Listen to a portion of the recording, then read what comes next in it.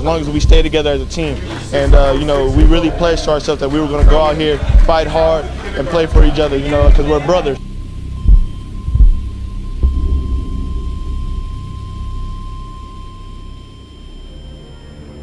last two possessions. They're going to hold it. I think time's oh, what a steal!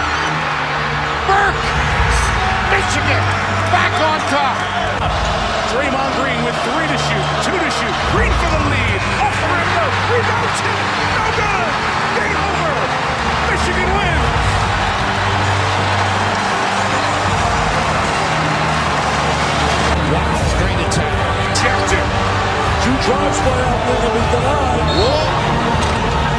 Counted and a foul. Gotta get a lot of confidence here.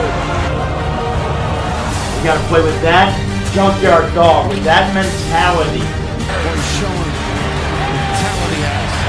Last shot of the It is. Caris LeVert. Help me get to the locker room. Talk about a momentum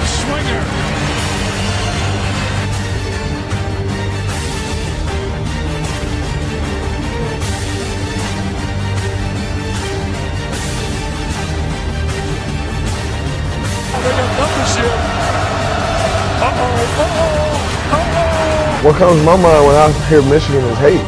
I hate them. They hate us. I don't wish no good on that school. I don't. I'd love to see them lose every game in every sport. I don't think that'll ever change. There is definitely a divide in the state.